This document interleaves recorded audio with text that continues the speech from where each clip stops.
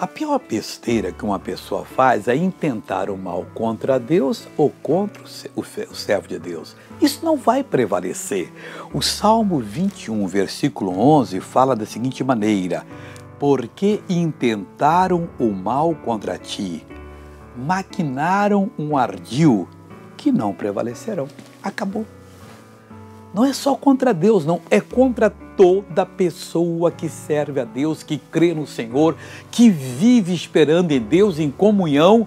Não importa o mal, meus irmãos, nenhum mal te sucederá, praga nenhuma chegará na tua tenda. Mas está acontecendo porque você está deixando. Se levante, domine, assuma.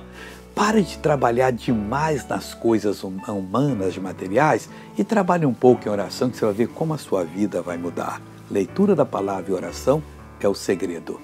Veja essa pessoa que foi abençoada, eu já volto para orar com você. 16 anos que eu fui enganada da coluna, que não tinha cura, de osteoporose e a, a, artrose também. Como é que você, Big Papagaio, como é que você andava?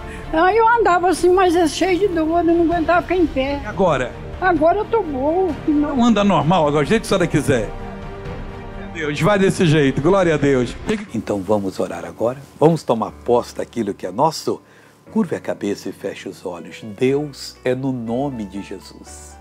Eu uno a minha fé com a fé dessa pessoa. Pai, eu paraliso toda ação maligna na vida dela e te peço, opere eu expulso esse mal e digo: saia em nome de Jesus. Tenha um bom dia, tá? Firme. Deus abençoe.